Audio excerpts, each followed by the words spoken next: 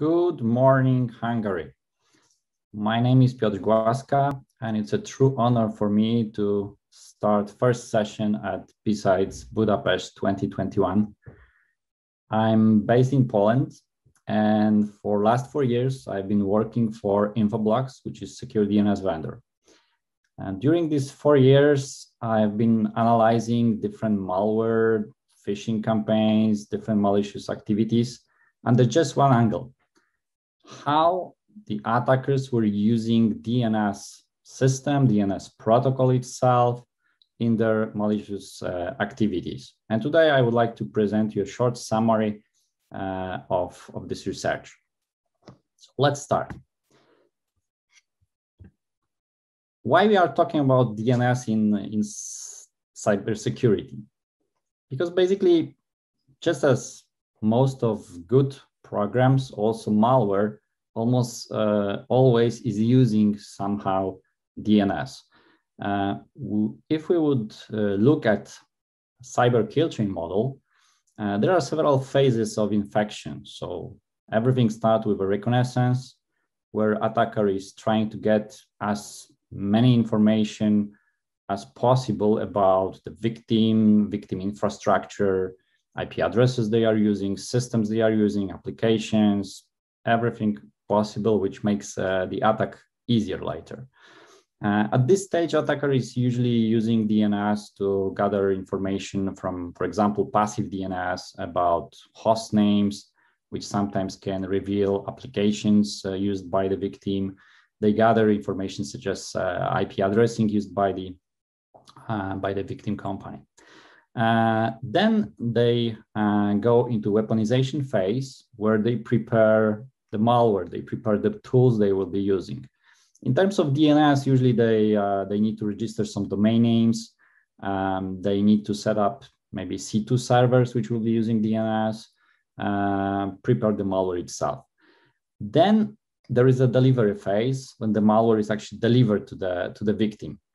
Uh, usually it's a form of the email. This email can contain attachment, it can contain a link, uh, it doesn't have to be an email. It could be an advertisement on some social media uh, with some uh, malicious URL. Uh, um, usually, when um, mm, there is a link in the email on in the advertisement, it's uh, given as a fully qualified domain name, uh, not as an IP address.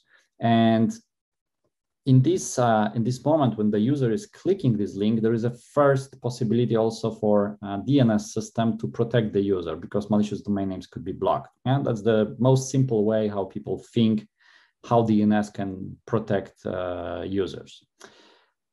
Then uh, there is an uh, exploitation phase where uh, some vulnerabilities are, are, exploited on the victim systems um, in terms of DNS that could be, for example, DNS protocol anomaly.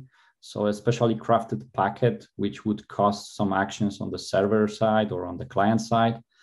Uh, also, domain hijacking, um, which could be, you know, made easier because sometimes people forget to set good passwords to DNS registrars. Sometimes they don't use multi-factor authentication and so on. Then we have an installation phase where the malware is actually installed in the victim computer, and then DNS is not used at this phase rather much. The most interesting phase, uh, specifically from DNS protocol perspective, is a command and control phase, C2, because DNS is used at this phase in different ways. First, usually the C2 address uh, is given or set fixed in, in the malware as a fully qualified domain name. Um, it's about 80% of the malware um, that is using DNS names as a C2 server addresses. The other 20 is just using plain IP addresses. Uh, when attacker is using just IP addresses, uh, he risks that when someone will not notice that the IP address is malicious, it will be easily blocked on the firewall, and then the you know the whole work which was done by the attacker will be lost. So this reconnaissance, time lost on reconnaissance, on preparing weapons, and so on. So usually they prefer to use a domain name which allows them to easily change IP addresses in case one would be blocked. There are several other algorithms, uh, such as such as DGA, domain generation algorithms, because it can happen that the domain name can also be blocked. But then, so there are several algorithms to overcome this possibility. The whole command and control communication uh, can also be hidden uh, inside of DNS queries and DNS answers. So we will go through real examples later. I will show you how this is, this is done. Then the last phase is actions on objectives, where actually the attacker is trying to get what he actually did the attack for. So maybe he wanted some sensitive data, maybe he wanted to um, cause uh, denial of service, uh, maybe he want to get the ransom, maybe he just want to disturb some activities of the victim. In case of uh, data leakage, so if, if attacker wanted to get some sensitive information, uh, DNS could be potentially used to transfer this data out of the victim's network in a very hard to actually hard to detect uh, way. Uh, also, in case of the DOS, of, of course, denial of service, DNS is a great protocol, unfortunately, uh, to be used uh, to, to, to cause such um, unavailabilities of, of the system because if DNS doesn't work, basically nothing is working. Let's look at this last phase and let's look how actually data can be stolen uh, with uh, help of DNS protocol. So let's assume attacker is already in the network. Uh, he has communication with the C2 server, from the C2 server to the uh, infected endpoint and he has some data uh, to be exfiltrated or stolen from the victim's network. Uh, to do that, before he started the attack, actually, he needs to register a domain name, one or more domain names, and set up authoritative servers for these domain names. This means when whenever there will be a DNS query for any host in such domain name, this query will finally reach the attacker's DNS server. Then, when he is in the last phase of the um, of the infection in this um, uh, uh, phase where he's already in, he takes the data he wants to steal. He might optionally encrypt it before sending. Then he needs to encode the data. He needs to encode it because the data will be sent inside of the DNS query itself, and it will be stored somewhere in a fully qualified domain name. It could be stored as a host name or a subdomain name, but anyway, it's always in FQDN, which means data needs to comply to the RFC or the encoded data needs to uh, comply to the RFCs, which are uh, describing how DNS query is built, how fully qualified domain name is built. There are some limits like, you know, FQDN altogether can have 255 characters with dots included. Mm, uh, there can be only letters, uh, digits, dash and underscore sign, and it's case insensitive. So some kind of encoding needs to take place before we build such queries. It could be a hexadecimal encoding because these are just, you know, 10 digits and six letters, uh, A, B, C, D, E, F. So it complies the RFC. It could be base uh, 32 encoding. It could be base 64, uh, usually with some modifications. Later, after the um, uh, attacker has encoded the data, he needs to cut this data into, into chunks because the limit between the dots in the name is 63 characters. So it needs to be cut in the chunks which should be shorter than 63 characters. Usually it's actually much shorter. Then after the query is built, it is sent from the infected endpoint to local DNS resolver of the victim company. So it is not usually sent to the C2 server directly. No, uh, attacker is sending this query to the local DNS resolver. And this DNS resolver looks at the query. It's completely, you know, RFC compliant.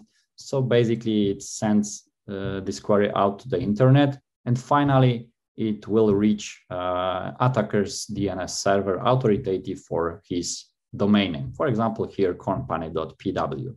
So here also attacker is uh, using this characteristic of, of DNS that basically it, it's kind of a proxy communication. Wherever the endpoint will send a query to uh, DNS resolver, this resolver is not just forwarding this query, like you know, passing it through. It will build a new query, and as a source IP of this query, will use its own IP address. So IP address of the endpoint will be actually replaced with the IP address of the DNS server. So imagine, even if the infected endpoint does not have internet connectivity, but can send a DNS query to this local resolver, then actually this query will uh, possibly can reach the internet, right? Even the, if the endpoint does not have direct internet connection.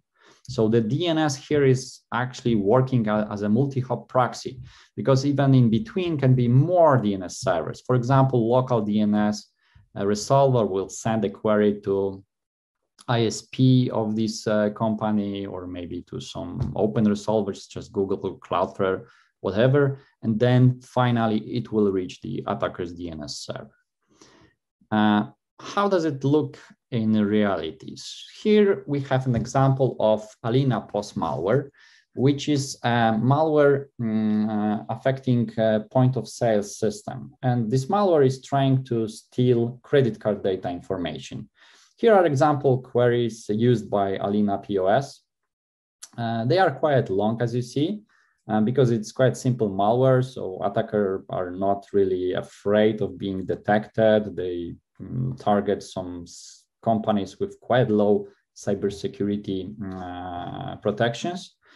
Uh, let's look at this uh, second query. Let's cut the hostname part and subdomain part and try to decode the data. Uh, I will do that in a CyberChef tool. Uh, here, as you see, I have copied the, um, the, domain, the DNS query without the final uh, domain name.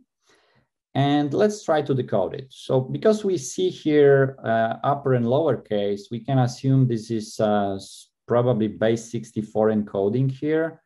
And standard base 64 cannot be used because it is using plus and slash signs. So basically, uh, usually attackers are using an URL safe version of base 64, which is replacing those characters with dash and underscore. So let's use this one. Uh, we still don't see human readable data. So let's try something simple because as I said, it's quite simple malware. For example, uh, XOR.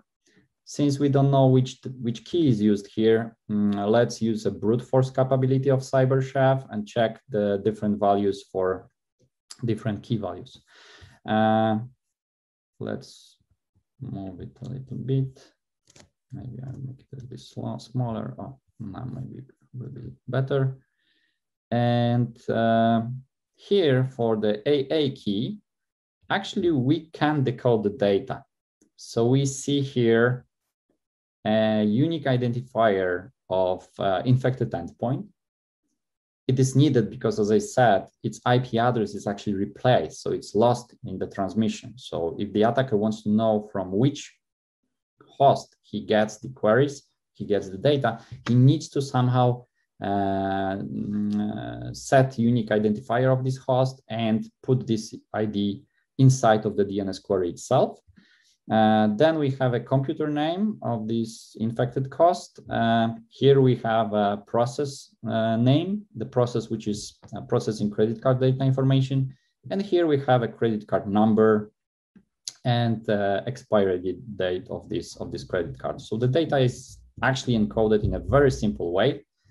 Uh, even more, you know, funny is that this AA key is used by Alina POS uh, since 2013 because this malware is quite old, but originally it was using HTTP to exfiltrate data.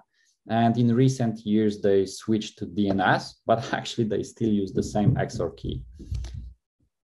So this is uh, how it looks uh, in a simple malware. Mm, how about more uh, advanced cases? For example, uh, TrickBot.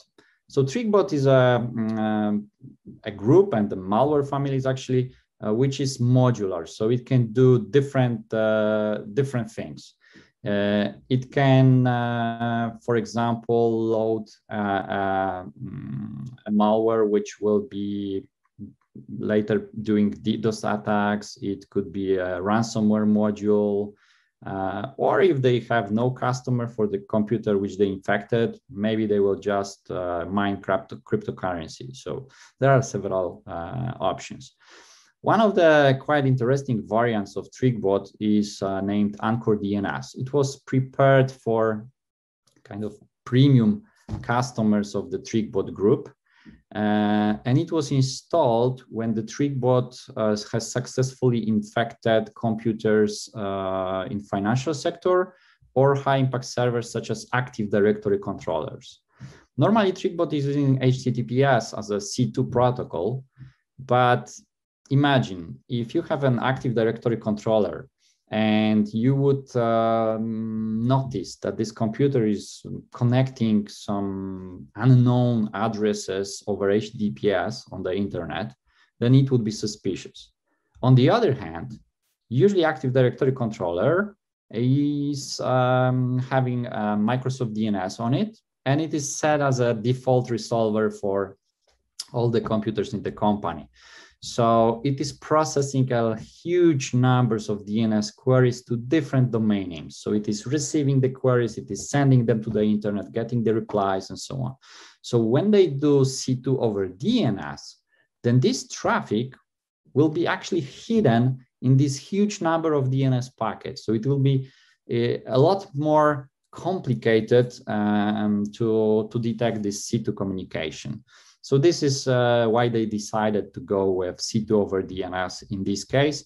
And here you have some example of DNS query, encoded data here. And here you can see decoded data. For example, uh, a campaign name, host name, client ID, and then the content, so the data itself very advanced use of uh, C2 over DNS uh, could be seen in uh, DarkHydrus group actions uh, because the communication they are using over DNS is highly randomized. So for example, uh, imagine the hostname part contains some encoded data.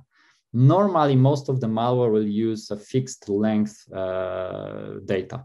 In their case, every query, they were actually randomizing the uh, hostname part. It was uh, chosen between 30 to 43 characters.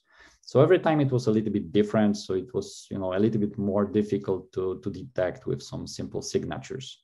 Also, please note that this is not very long. It's just 30 to 43 characters. So it's completely different than Alina POS. Alina POS was having like a very long query and they were not afraid uh, of detection. Here it's an advanced group attacking government agencies. They try to build queries which will be average on size. Usually the size of DNS query is somewhere around 60 to 100 characters. So here they get 30 to 43 plus add the domain name and altogether it is more or less average domain name query. Uh, also, the delay between the queries was quite long, uh, around three seconds and it was not fixed three second, it was randomized. So it was usually between 2.4 to 3.6 seconds. They were also randomizing query types. So not always asking about one query, although this malware could work like that, but also they could just, you know, randomly check, uh, select a query type for each uh, query. The domain names which were used, also it was not just one domain name, but each query was choosing randomly a domain name uh, from a set of uh, dozen domain names. So it was not like, you know, that you have a host which is sending a lot of queries to single domain name. So it's quite suspicious. But here now, there were a bunch of different domain names and they were changed. So quite, quite interesting uh, approach. Uh, even more interesting case was uh, is, is using the Bad WPAD attack. Um, WPAD means Web Proxy Auto Discovery. And basically, it's a protocol used by, uh, for example, Windows systems when they need to uh, automatically detect which web proxy the, the Windows should use. And this detection is uh, based uh, partially on the DNS system. The endpoint is asking for a host called WPAD, and then uh, the domain name is added from the search suffix list from the Windows uh, network configuration. So usually it's something like, you know, wpad.company.hu, for example.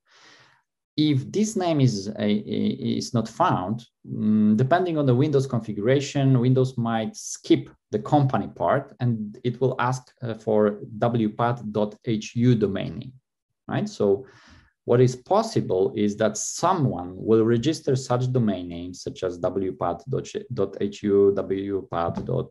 I don't know, top or whatever, uh, whatever victim uh, is using as a top level domain name. And then Windows is actually asking for a file which is contain, which should contain web proxy configuration. So there should be an answer which proxy to use for specific URL. Uh, so imagine someone is registering such domain name and if the company, victim company does not have this WPAD entry, then basically the Windows possibly could reach to attacker's server and ask for the file with web proxy configuration. Then the attacker will be glad to help and give this file with the configuration. But in the file, it will direct the um, endpoint, victim's endpoint, to malicious web proxy, for example. Uh, Adam Jaya, which wrote the blog, uh, which you can see at the bottom, uh, had uh, done some research and checked different top-level domain names uh, if WPAD entry exists there. And for example, he found a very interesting case of um, wpad.software domain name, which was serving a web proxy file, which was actually instructing the browser to encode an, a URL which user is browsing uh, in base 64 and then exfiltrate this URL to the attacker over DNS query. So it was he was not like you know the attacker was not uh, redirecting all the traffic uh, to the malicious web proxy. Actually, he was redirecting HTTP and uh, FTP traffic, but encrypted traffic uh, because of the certificate problems was not redirected. Only the URL was exfiltrated over DNS. So very interesting case of uh, bad WPAD attack.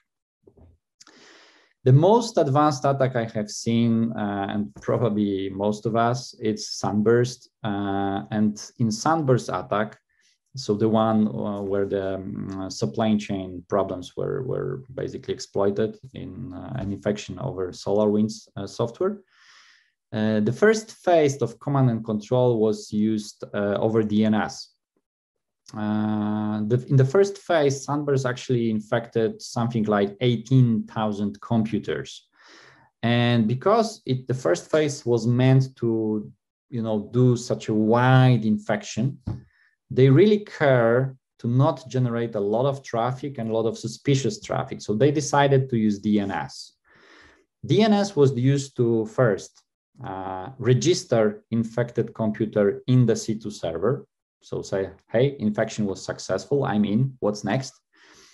And over DNS queries, um, they also send information about internal corporate domain name of the victim because they didn't want to infect all these 18,000 computer, uh, 18,000 companies. They actually targeted some, you know, most important organizations such as some ministries, government institutions, and some other important companies. So they needed um, a way to find out in which company they are. They choose to, to check uh, internal corporate domain name. And this name was exfiltrated to the C2 server over DNS queries they decided to just uh, send 14 letters uh, of a domain name in a query. And if these 14 letters would be not enough, they would just ask uh, to send more, to send another 14 letters. If that would be not enough, they would ask another 14 letters and so on. Uh, and then they, they get a corporate domain name and they check, okay, is it a Ministry of Justice? Uh, looks like that. Okay, so we move to the second stage of the infection, for example.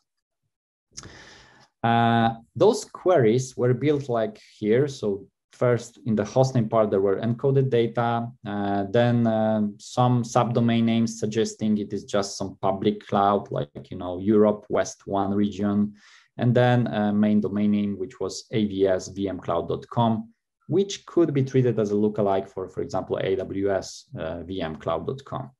So the, the query was supposed to look unsuspicious. Delay between queries here, it was extremely long. I mean, they used something like a few minutes between each and the other query. Sometimes it could be even two hours. And in some cases, if there was some failure in the communication, they would wait even, you know, six, nine hours. So really, really um, big delays between the queries.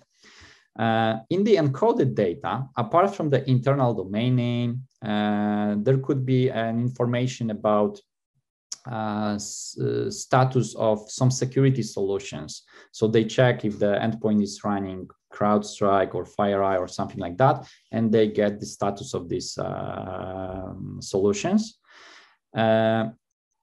Also in every query there was this unique identifier. So there was a mac of this pc of this host basically sorry uh, the name of it and uh, global unique identifier. Uh, altogether this encoded data part had 30 characters. So quite similar to the to the previous advanced uh, case. They try to build queries which are not too long so if you are looking for extremely long queries in your security system, that's good, but here it would not work. Uh, all this, uh, mm, uh, this data part was encoded using base 32 algorithm with custom alphabet. So they didn't use a standard base 32 encoding uh, algorithm. Quite interesting case was also DNS replies. So the answer from the C2 server, or let's say task assignment from the C2 server, like give me another 14 characters, or give me security solution status, or move to the next C2 stage. It was sent in form of IP addresses. So basically, infected host asked about an A record, and in the reply, he gets an IP address. This IP address meant those specific tasks such as send me rest of the domain name, send me security statuses, send me or, or move to the another stage. Those IP addresses were chosen from network ranges, sorry, of AWS, Microsoft, Google. So basically, if someone was observing this DNS traffic, he saw those queries looking like some public cloud queries with IP addresses as the answer and those IP addresses were completely not suspicious because these were legitimate IP addresses of Amazon, Google, or Microsoft. So it was really quite, uh, quite clever approach. Another uh, approach how DNS is used by the attacker is to, uh, to download information from the C2 server into the uh, infected host. For example, malware could download additional malicious modules. Uh, this is the case of InvisiMole malware, which was detected um, by ESET in uh, some diplomatic and military uh, sector uh, organizations in, in our region of Europe. Uh, and here DNS was exactly used to, to, to do that. So basically, when they infected the host in uh, such organization, um, they knew that possibly this host might not have internet, direct internet connectivity. It might be in some isolated network segment. But very often defenders are forgetting that just blocking communication between this host and the internet is not enough. And if this host can send a query to local DNS server, this local DNS server will act as a proxy and uh, it will send a new query, build a new query based on that, and send it to the internet. So finally, it can reach attacker's name server. Then the attacker's name server is sending DNS reply to the DNS resolver of the victim. And then, then this resolver is replying, sending this reply to the endpoint which was infected. So basically, there's actually bidirectional communication thanks to DNS capabilities. In those DNS records, they encoded new malicious modules. So how you do that? You basically take a, a malware module, you compress it, encode it uh, with some algorithm if it's needed. For example, if you want to store data in TXT record, you use base64, for example. If you use null records, actually you don't need any encoding. You just can take executable, cut it into the pieces, put in different records in the DNS zone, and then the endpoint is asking about each and every record, um, concatenating it, decompressing, and it can run new malicious model. So that was the case here. Uh, let's move to the other techniques. How malware can actually get uh, domain name of the C2 server address. There are several options. It can be fixed in the malware, uh, but more interesting techniques are using some dynamic resolutions. Here we have an example, uh, Glupteba botnet, uh, how it is getting uh, domain name for C2. Actually, Glupteba is asking legitimate cryptocurrency servers such as, such as blockchain.info and asking about details of a cryptocurrency transaction. And in op return field, it is storing C2 domain name encrypted with uh, AES256. So this is the encrypted uh, data. And after decryption, you can see C2 uh, domain name. So later, uh, when it is contacting uh, C2 server, it knows which domain name to use. And here we have uh, some example communication C2 over DNS uh, as executed by Glupteba malware. Another interesting example is um, this case where attacker was first using um, uh, DNS over HTTPS to bypass local uh, DNS system. So it is sending DOH queries um, directly to dnsgoogle.com, asking to resolve a specific domain name. Uh, when we look at this domain name, dmark.jqueryupdate.js.com, uh, we could notice that in the reply, this is a TXT record, and it looks like a DKIM record uh, with RSA key, right? That's the first impression. But actually, if you know DMARC and DKIM Mm, uh, protocol, you know that it's not the correct name for the DMARC domain name, and definitely it's not the correct content. It's not the correct name for domain keys, uh, domain name also. So basically, it just look quite similar, but it's not. And if we would take this uh, this data here uh, and go again into the CyberChef, we can notice that this data is actually not a key but each slash is actually delimiter.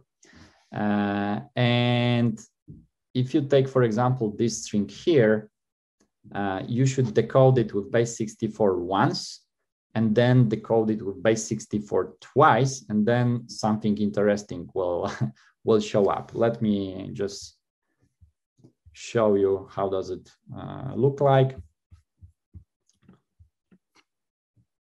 So, okay.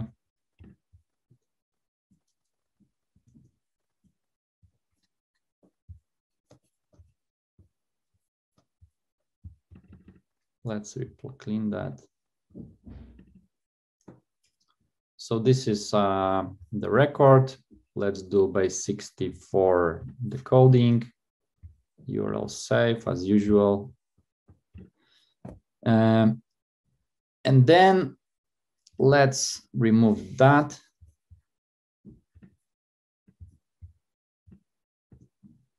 So here we can see that this is actually another base 64 uh, encoded text. So let's do again base 64. And this is actually a digit, uh, a, a, number, a 32-bit integer number. And if we would uh, just, you know, use ping to decode it, you can see that actually this is an IP address. So it is just stored in 32-bit integer format. So in this record, actually, we have several IP addresses of command and control server. Here is the one, another one, another one. Uh, everywhere where you see this 9PQ, it's a double equal sign encoded in base 64, there is an IPv4 address. So very interesting uh, case as well. Uh, another technique which attackers are using uh, is DGA algorithm. So they can um, basically, instead of fixing a domain name for C2, The malware contains small, small code which will generate uh, a lot of uh, random uh, domain names. It can generate like hundreds of thousand domain names per day. And um, attackers uh, register for a specific day just one of these domain names. So when the malware is uh, will successfully infect a computer, it will generate first domain name, try to re resolve it. If it's not existing, not existent domain name here we have, it will generate another one, not existent, generate another one. If he will be lucky to hit the domain name registered by, uh, registered by the attacker, then uh, the bot will receive an IP address of command and control server, and then C2 communication can start. If this domain name will be blocked by someone, like a firewall, DNS firewall, whatever, then basically malware will generate another domain name and another and another and another until it will uh, hit the, the, the one which attackers has registered. So basically it makes blocking domain names much harder because every time you block one, the another one is generated. Here, attackers are using random characters, digits, letters to build such domain names. In more advanced attack, they are using whole words to build domain name because uh, it's quite easy to actually detect such domain names. Uh, you are using mm, different algorithms to do that, like you know you check n-gram distribution, vowel ratio, uh, entropy, and so on, and you can detect such strange domain names. But if the attacker will build C2 domain name out of words, it's it's it's it's much it's much harder. So for example, here here malware has two dictionaries built in, and whenever malware tries to generate a domain name, it will randomly select a word from this dictionary, from the other dictionary, connect it, and then it will build domain names such as these ones. So they look completely, uh, you know, normal, I would say, right? So this is much more difficult technique to detect, but also it's actually possible. Let's move to some uh, simple things. Uh, so how about lookalike domain names? Uh, why they are used? So basically, it's used in uh, usually in some phishing campaigns, but not only and uh, they try to build domain name which will look familiar to the user. Uh, if they try to target some brands, such as here we have a Netflix phishing, uh, Netflix targeting phishing uh, from Poland, we can see that the, the malicious domain name, the, the whole domain name to here, uh, contains actually partially contains a good domain name, netflix.pl. So for some users, they might not notice it's not netflix.pl, but actually it's some other domain name, right? So it's a simple lookalike domain name. Could be more advanced. For example, some letters could be used which look like the other letters. For example, here, uh, targeted brand was InPost, which is a logistics company and a logistics delivery company. Uh, and here attackers were uh, have registered domain name lnpost.pl because uh, lowercase l looks like in capital I. So exactly like in the brand name, right? There is in capital I as a first. Uh, but actually this domain name on the left, this website on the left uh, is malicious. It looks similar, the domain name looks similar, but actually, when you look in the HTML code, you can see that the, all the credentials you enter are actually exfiltrated to malicious server. Uh, last year in Poland, for example, we we we we saw a lot of um, campaigns uh, which were using uh, lookalike domain names in composition with advertisements on Google or Facebook. And here have here you have some examples uh, why they do that? Because some users when they enter the bank web page they don't put a bank your uh, address in the url bar but instead they put bank name in the google search bar. And then they click the first link because usually it's their bank. But here actually attackers bought uh, ads uh, campaigns. And here if you enter uh, for example targeted bank name like Getin Bank or sgb the first link is actually malicious one. The other one is a good one, but the first one is malicious. Here it can be easily seen because the URL is not correct. But in the other campaign, they actually got smarter and the ad name was containing good URL, uh, but it was linked linked to the malicious URL. Here we have similar campaign, but in the Facebook, uh, PKO Bank was targeted, and here is a lookalike domain name, and here uh, advertisement special variation of the lookalikes um, use special characters. We call this technique IDN from International Domain Name Homographs. So the domain names which look quite similar by using quite similar characters to, to the Latin characters, but different. And here we have an example, adobe.com uh, with a special B sign, uh, dot under it, here we have a, a, a SMS phishing uh, targeting LOT Polish Airlines saying that you know you can get two free tickets, just click here. And we have uh, lot.com, but the O here has a dot under it. In some communicators such as what, WhatsApp, this is also underlined, so this dot is barely visible. Uh, there are also some cases like this one. So look carefully. Do you see any difference in these domain names? Because if yes, then basically you need to visit the doctor. There is no, no graphical uh, difference. But actually, these are two different domain names. First one is built using Cyrillic character set. Uh, in Cyrillic character set, the Latin characters are repeated, but under different codes. So you can build a domain name which will look exactly like the you know legitimate one, but it will be completely different domain name. In this case, this here would be seen in the DNS system as this one. Also, you know, in, in browsers, uh, right now, if you put such, such domain name like this or this or this in the web browser, the browser will show you this uh, Punycode uh, name, so especially encoded name. In uh, Outlook, uh, unfortunately, it's different. So if you will get such email with such domain names, they will be shown exactly like attackers wants.